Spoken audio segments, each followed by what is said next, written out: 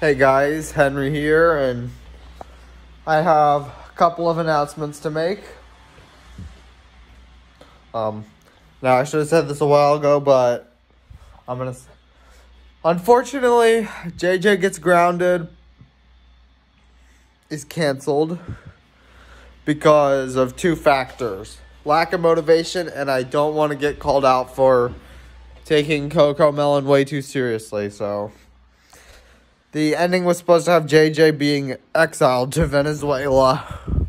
And my other announcements I will be. So, hopefully, this weekend, if I feel motivated, I will do content review. Starting with Mr. Dweller, then Nikado Avocado, and others.